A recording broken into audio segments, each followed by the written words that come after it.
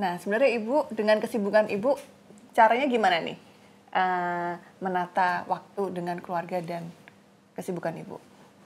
Kalau masalah waktu itu tergantung situasinya, selonya kapan, dan memang hari ini uh, sudah di, direncanakan sehingga saya sudah ngeblok waktu. Hmm.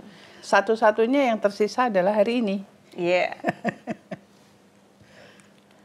walaupun hari libur, tapi sebetulnya hari libur buat saya itu bukan bukan sesuatu yang saya tidak bekerja atau tidak beraktivitas, baik untuk keluarga ataupun untuk bekerja untuk eh, tugas-tugas uh, yang saya emban, tapi justru memaintain waktu itu memang penting. Mana yang prioritas, mana yang masih bisa kita lakukan uh, negosiasi memindahkan waktu